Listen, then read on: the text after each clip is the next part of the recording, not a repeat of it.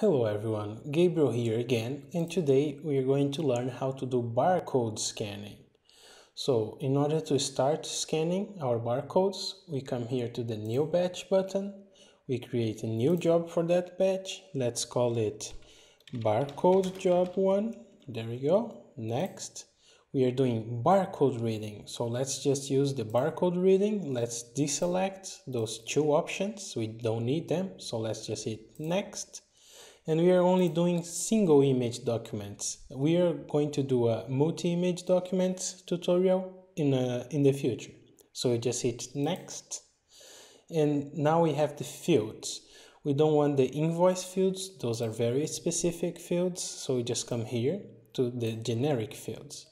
We are going to use only the barcode reading and the scan date from the those fields. So we just click select and remove each of those fields we are not going to use and hit next. We want to output it to the disk on a PDF file and then hit next.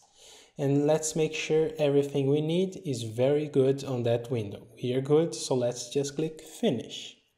Now let's create our first, first batch of files. Let's call it barcode batch 1. There we go. Here create batch. Now we are ready to start getting our files ready. So when you're doing barcodes, we want to import only the first one. So we are going to drag and drop it. Usually you would just use the scan options here and then the, the process here is a little bit different. So we just drag and drop the file. We don't need PDF text, so we'll just we will just unselect it and let's leave it on auto detect because uh, that will get the best possible options for that document. So just hit OK. At this time, the document has been scanned and you can see here the barcode is right here. We need to make sure one thing is right. You come here, you can click on this little button here or just right click the field and field properties. It will open its properties here. You need to make sure the obligatory nature is set to mandatory. So when the program fails to scan in one of our files, we know it. It will show here. Instead of OK, it will show a cross, a red symbol. We also would like to use for our uh, folder structure later on, uh, we want to add a new data field. We want to have the last four digits of the barcode. So let's just create a new field called barcode and, and let's click OK. You can see now we have a new field here. First thing we're to do is configure it. Again, you can click on that symbol, field properties. And now we are going to change the field type. That will be a barcode reading. And then you have to configure it. So on the barcode field configuration you just hit that button here. We want to use the code we already have that code here and just use part of it. You don't need the whole code you just want part of it. And we can just highlight what part of it we want you can use the last four, last five, only the last one, whatever you want. We will select the last four digits and then hit OK. Now we have a new, uh, a new field with only the last four digits of the barcode. We also want to make sure that the obligatory nature is mandatory. So the program shows us when it's missing. Here you have. And before we start importing our order files, we will come to the barcode read button here. We click it and then barcode read settings 1 so just click here and it will show you that window. You can see the program knows what kind of code it is and can read it read the code here. We know it's a code 128 so in order to reduce scanning time we will just deselect all other codes. We don't need them in any other case, if you had two kinds of barcodes, you would have to select it here.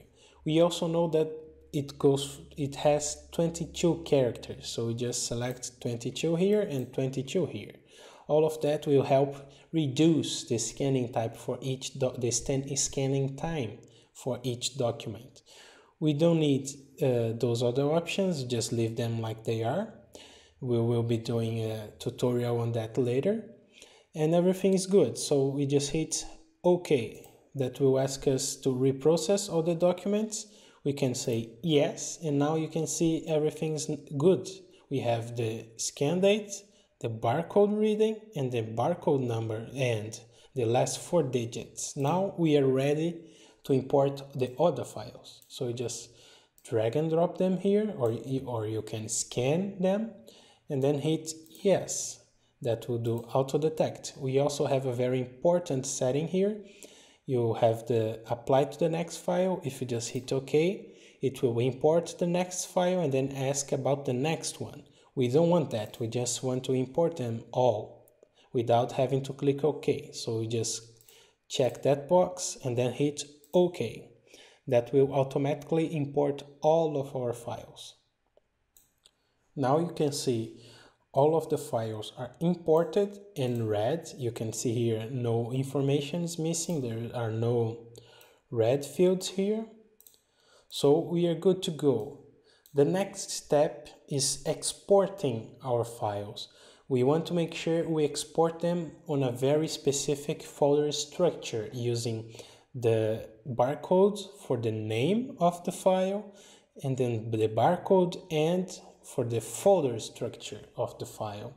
So we just come here to the export batch button that will show up that window and we want to make sure the file system export selected. You can have other exports here. We just want the file system.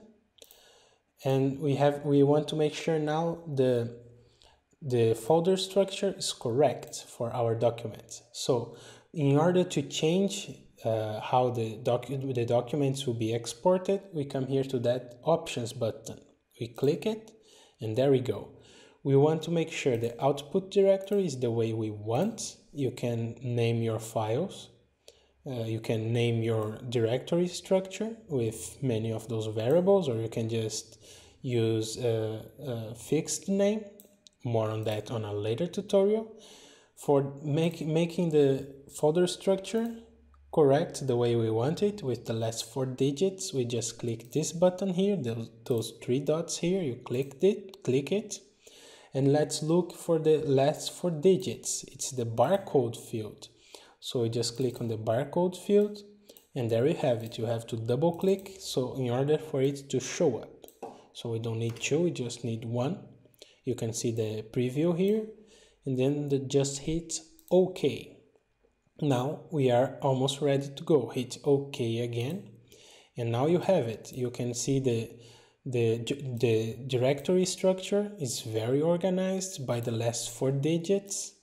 And we are ready to export now. So we just hit export now and wait for the files to, to finish exporting.